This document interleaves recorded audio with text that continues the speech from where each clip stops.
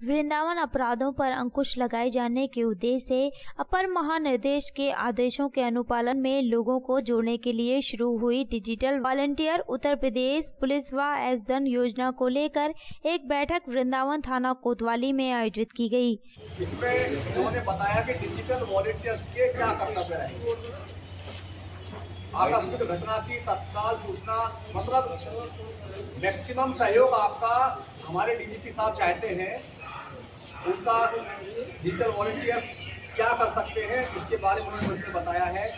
कि अपराध आकस्मिक घटना की सूचना तत्काल यूपी सौ पर दे दें। किसी भी प्रकार की घटना, दुर्घटना के होने पर जनता के लोगों द्वारा आक्रोश में आकर किए जाने वाले धरना प्रदर्शन पर उनको समझाने में पुलिस का सहयोग करना, गाँव की किसी ज़मीन के कब्जे, बंटवारे संबंधी समस्या में पुलिस द्वारा लगाई जाने वाली जन चौपाल में भाग लेकर गाँव की समस्याओं को निपटाने में सहयोग करना। उत्तर प्रदेश पुलिस के Twitter handle UP police, Facebook page UP police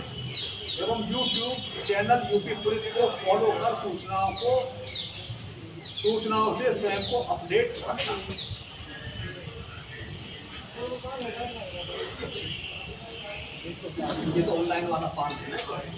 जिसमें क्षेत्र अंतर्गत आने वाले संभ्रांत लोगों के फॉर्म भरवाकर उन्हें योजना के बारे में जानकारी दी गई। इस दौरान कोतवाली प्रभारी अमरपाल भाटी, एसएचओ रविंद्र यादव, एसएचओ आज़ाद पाल सिंह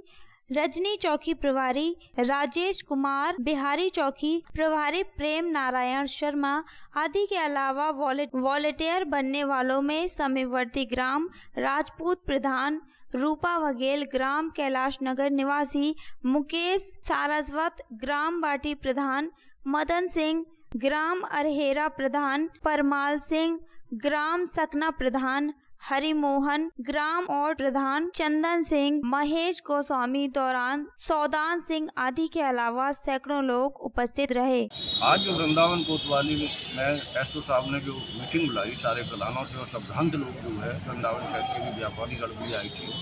वाकई में ये पहल बहुत पहले से होनी चाहिए थी, जिससे कि हमारे समाज में जो कुरुतियाँ फैल रही हैं, जो गंदगी फैल रही है, जो भ्रष्टाचार फैल रहा है, जो छोटी छोटी लड़ाइयाँ जो गाँवों में हो जाती हैं ये भी सुझाव दिया कि वो लड़ाइयाँ जो है गाँव में भी पंचायत बुला के ख़त्म कर देनी चाहिए जिससे कि वो अदालत तक नहीं पहुँचे और यहीं की यहीं समस्याओं का हल हो जाए। और व्यापारियों के बारे में भी समझाया धकेल वालों के में कि गंदगी भी नहीं होनी चाहिए। इस वजह से इस चीज़ पर बहुत अंकुश लगेगा कि बहुत अच्छी पहल ये जो बैठक की गई है कहाँ तक आप सदस्यों कितनी अच्छी रहेगी? ये बैठक इसका क्या ये बैठक ईमानदारी से अगर जिस जिस तरह से एस साहब ने बताया है अगर इसको सब लोग फॉलो करते हैं तो बहुत सारी समस्याओं पर हम समस्याओं के नाम नहीं गिना सकते हैं, इतनी समस्याओं पर जो है हम खुश लगेगा। बहुत अच्छी पहल है।